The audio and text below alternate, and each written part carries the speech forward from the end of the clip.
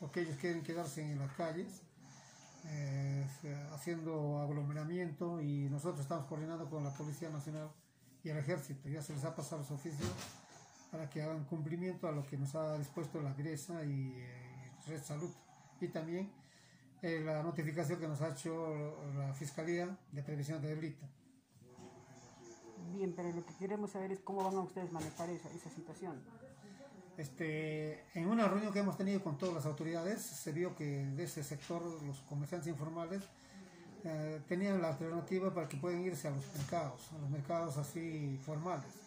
Ahí estaban los dirigentes también del mercado popular. Ellos están de acuerdo, están invitándoles que ocupen los puestos y los espacios que ellos tienen. Pero sabe que no hay respuesta, ¿no? No es la primera vez permanentemente usted se llamado, pero no hay respuesta. Ahora, también es cierto de que en esa zona de Guión, Pedregal, ahí se necesita también un mercado. Sí, necesita un mercado. Sí, ahí no lo eso también. Pero en las calles, en las calles está totalmente prohibido porque la ciudadanía, hay muchos vecinos que vienen a quejarse también al lado del cementerio ya nos ha quejado acá este, en la fiscalía y también ahí este,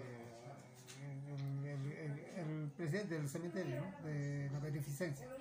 Entonces nosotros como somos el ente que tenemos que cumplir con el desalojo, hemos, estamos haciendo las coordinaciones para poder cumplir con este dictamen de la Fiscalía y como también esta queja que tenemos de la beneficencia. Porque la policía de la Fiscalía de turno está presionando para que ustedes cumplan con lo que dicen las ordenanzas. Sí, nos está presionando, nos ha dado las actuaciones y también a los dirigentes de, de estos comerciantes ha, ya les ha notificado, les ha dado 72 horas para que puedan desocupar ese, ese espacio estos señores no están cumpliendo. Pues.